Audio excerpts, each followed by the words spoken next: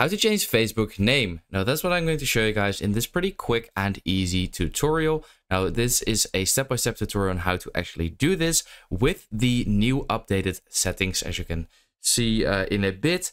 And now if this video was helpful, let me know in the comments and let's get started. So what you want to do is simply go to the menu and then click on the settings icon at the top right corner.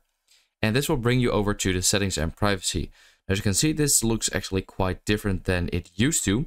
And in order to actually change your Facebook name, what you want to do is click on see more in account center. So basically the top thing right over here.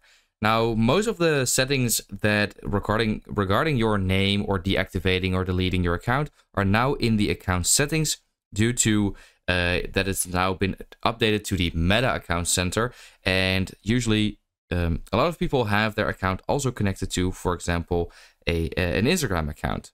So how can we actually change our name? You want to click on profiles and then click on your Facebook profile. And then here you can actually see name right over there. So here you can actually change your first name, middle name, and last name. And then you want to keep in mind that you can change it for 60 days. So keep that in mind. And then you can also here change your username right over there. So this is basically it. This is where you can actually change your um, username and your actual name. So you can just fill in something else, um, something different, and then hit review change at the bottom. And that is basically it. So I hope this video was helpful. Let me know in the comments if it did, and then I will see you next time.